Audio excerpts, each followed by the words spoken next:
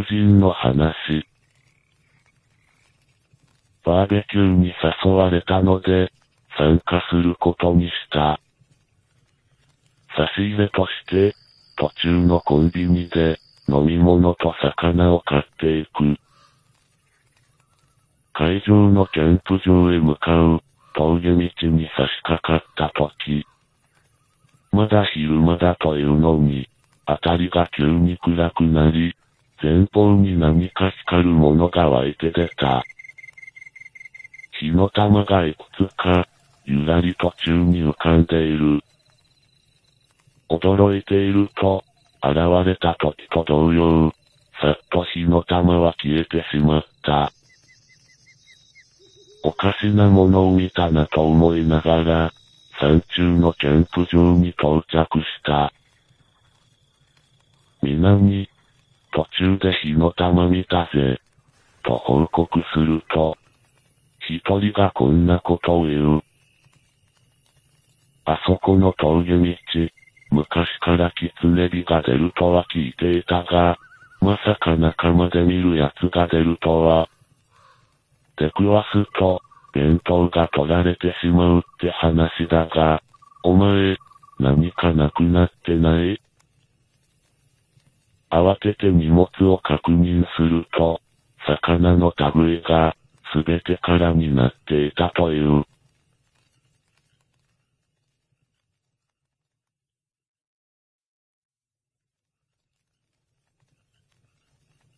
友人の話。山中の野池へ、仲間と二人でバス釣りに出かけた。ボートを出して、池の中ほどで楽しんでいると、視界の外れで、動く影がある。子供が溺れていた。必死の形相で、手を振っている。おい、あれ。連れもそれに気がつき、慌ててボートをそちらに回す。エンジン全開で水上を走り、子供まであと少しというところで、ドン、という衝撃が船底を襲い、二人して、ボートの外に投げ出された。ボートは、浅いサスに乗り上げていた。一瞬溺れるかと焦ったが、足が水底につくことを確認して、落ち着く。なんとか立ち上がってみると、水はすね下までの深さしかなかった。大丈夫か？という連れの声で我に帰り、子供の方に目を向けた。ついさっきまで、そこであがいていたはずの姿が、どこにもない。水面はないでいて、浅い底が透けて見えていた。冷静になってみると、色々とおかしな点に気がつき、連れに確認する。そういえばさ、お前はあの子の悲鳴っていうか声、聞こえた？あ、ああ、誰の声も聞こえてなかった。水がバシャバシャ跳ねる音も、全然聞いてないんだよね。うん。今見たのは、まともな子じゃないぞ。必死でボートを深瀬に押しやり、そこから逃げ出した。岸に這い上がると、その日はそこで終わることにする。その後しばらく、その野池には近寄らなかったそうだ。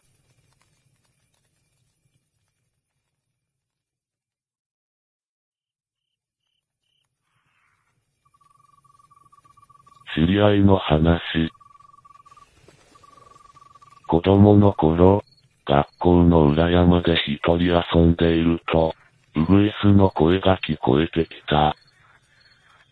おそらくは、巣立ちしたばかりなのだろう。まださえずりが下手で、最後までうまく通して泣けていない。まだまだ下手っぴーだな。生意気にも、そんなことを考えていると、ひときわ大きな鳴き声が、林に響き渡った。比べ物にならないほどの、見事なウグイスのさえずりだ。下手なウグイスが鳴いた直後には必ず、うまいウグイスが続けて鳴いている。まるで手本を見せて、指導をしているかのようだ。やがてだんだんと、下手な方の鳴き方が、上達していくのが分かったのだという。へえ、ウグイスも勉強とか練習とかするんだ。学校みたい。さえずりの先生は、どうやら近くで泣いているらしい。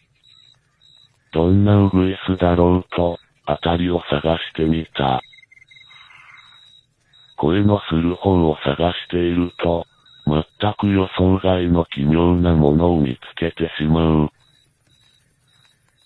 少し離れた木立の中、そこの枝に、小さな牢屋が腰掛けていた。昔話にでも出てきそうな真っ赤な頭巾と、落ち着いた色合いの着物姿。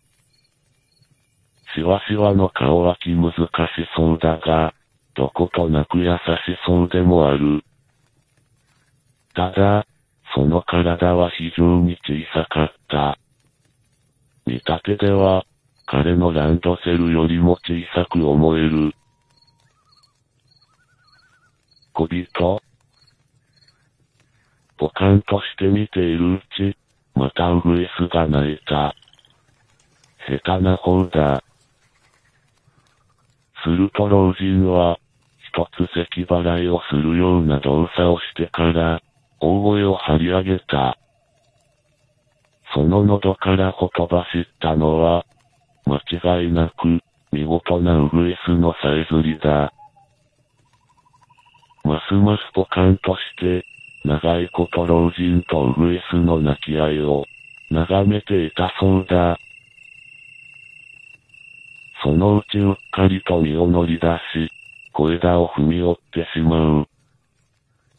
大きな音ではなかったが、ウグイスは泣くのをやめた。気づけば、牢屋もどこかへ姿を消していた。家に帰ってから、祖父にこの話をしてみた。この谷に昔からいるという、ウグイスの師匠ってやつだろう？親とはぐれた小鳥に、泣き方を教えてやってるんだとさ。ウグイス以外の鳥も面倒を見ているらしいが、やはり里じゃ、ウグイスが一番人気だからな。それでいつの間にか、ウグイスの師匠って呼ばれるようになったって話だ。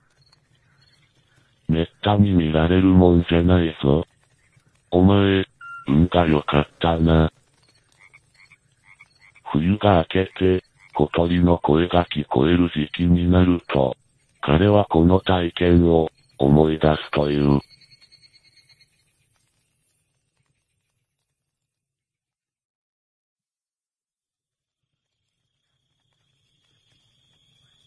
友人の話。夜に渓流で釣りをしていた時のこと。居合わせた数人で談笑しながら興じていると、近くの川面で音がする。漁師がと網を打っているような音だ。音が聞こえ出すと同時に、周りの釣り人たちがみんな、撤収自宅を始めた。不思議に思って問いかけると、こんなことを言われた。川天狗さんが、網を打ち始めたからね。この音に出会ってしまうと、もうその夜は絶対に釣れないんだよ。僕らは帰るけど、君はどうする？とりあえず粘ってみることにし、河原で一人、朝まで竿を振ってみた。浄化は予言された通り、全くの坊主であったという。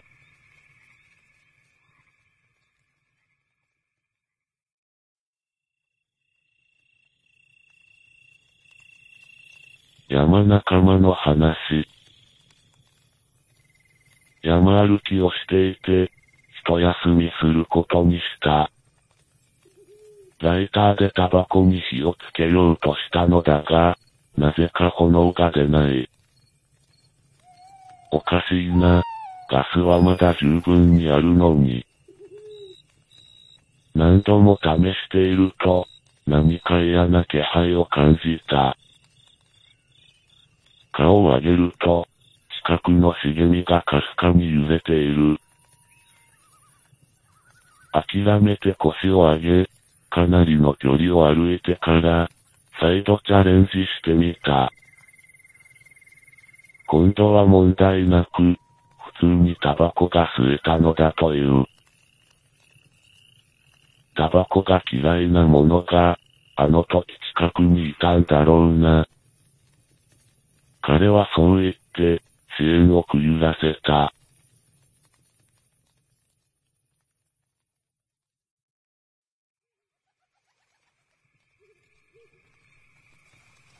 知り合いの話。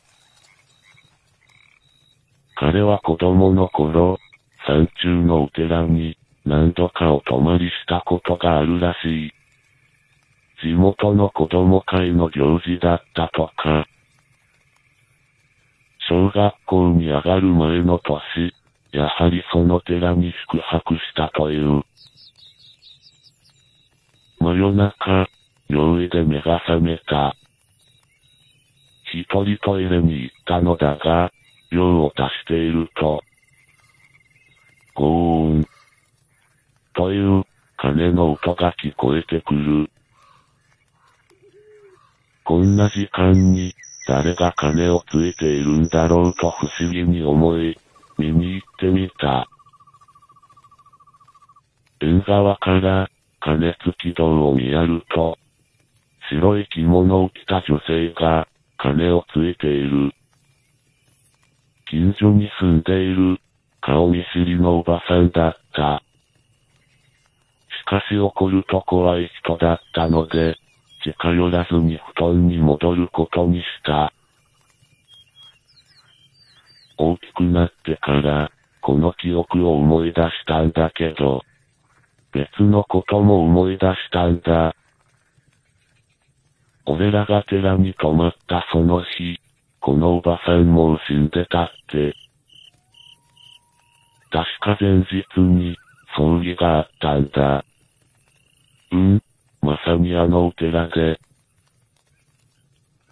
今でも時折、寺の鐘の音が小さく聞こえる夜があるのだと、彼は言う。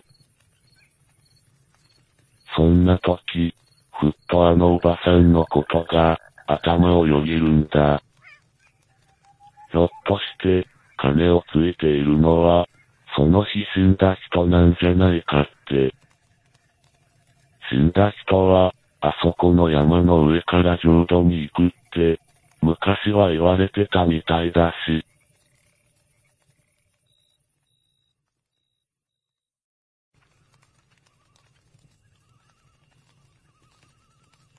友人の話。釣り仲間と二人で、沢釣りに出かけた。いつもとは違う場所で釣ってみようと、散策しているうち、いい感じの縁が見つかった。あまり人の来ない場所なのか、入れ食いのように釣れたそうだ。夢中になって竿を振っていると、急に手応えが重くなった。根がかりでもしたかと思ったが、力を入れるとゆっくり引き戻ってくる。高い竿を打っては面白くない。竿を下ろして手でラインを引っ張り、回収することにした。しばらくそのまま引っ張り続けていたが、だんだん気味が悪くなってきた。こんなに長く糸を送ってはいないはずだけど。しかし糸は延々と、縁から引き出されてくる。疲れたように、彼は糸を引き続けた。いきなり連れが、大声を出した。お前、何を引きずり出してるんだ。はっとして手元を見ると、手の中にあったのは、5ミリほどもある、太い何かだった。明らかに、釣り糸ではない。黒くて、わずかに弾力を感じる。それに指摘されるまで、彼はラインがどんどん太くなっていることに、気がついていなかったらしい。慌てて手の中のものを放り出す。次の瞬間、足元に積み上がっていた太い紐が、すごい勢いで水中に引き戻された。ラインはあっという間に縁の中へ姿を消し、置いていた竿も、没して見えなくなる。しばらく二人で呆然と水面を見合っていたが、やがてぷかりと、彼の竿だけが浮かび上がってきた。恐る恐る引き寄せてみると、糸は切られていて、ほとんど残っていなかった。お前、何かに釣られかけたんじゃないか？連れが渋い顔をして聞いてきたが、答えようもない。すぐにその場から、撤退したのだという。以来、その縁の近くには、寄らないように注意しているのだそうだ。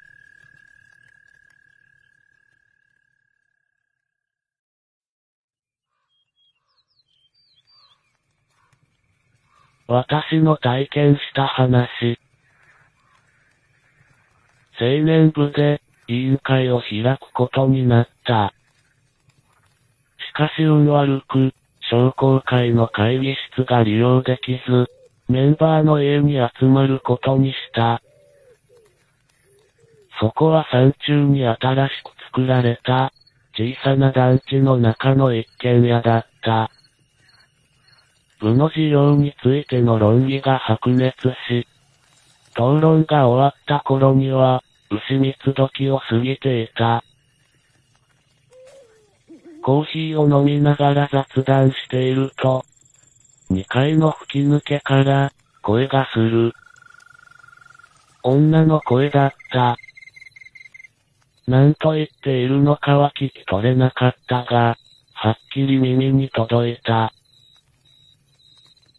娘さん、目を覚ましちゃったんじゃないか？誰か呼ぶ声がしたぞ。そう私が家主に言うと、何も聞こえなかったけどなぁ、と首をかしげながら、会場の子供部屋を確認しに行く。その日は、奥さんは夜勤で留守。2階には、彼の幼い娘しかいなかった。いや、ぐっすり寝てたよ。多分空耳でしょ。帰ってきてからそういうので、今度は私が首をかしげてしまった。ええ確かに聞こえたんだけどなすると両隣の仲間が、声なんかしなかったよ。勘違いだろ。と家主に同調する。すると、真向かいに座っていた一人が、青い顔でつぶやいた。それ、僕にも聞こえました。女の人の声で、誰かしらに、いて、って呼んでました。場が一瞬静まり返った後、皆が揃って立ち上がった。さ、夜も遅いし帰るとするか。そう口にすると、家主が血相を変える。ちょ、一緒に確認しに行ってよ。怖いじゃんか。逃げ損なった。仕方がない。皆で恐る恐る、うち中を見て回ったが、メンバーの他には、誰の姿も見えなかった。泣きそうな顔の家主を残し、とっとと引き上げた。後日別件で集まった際、メンバーの一人が奇妙な話をし始めた。祖父にあの夜のことを話したところ、こんなことを言われたのだそうだ。あそこらのマミは、気に入った男を山に連れ去るって言うからな。お前も気をつけろよ。マミとは、人を化かす狸のことなのだという。お前らもしかして、狸に告られたんじゃね？あの時声が聞こえた私ともう一人は、しばらくそう言ってから変われた。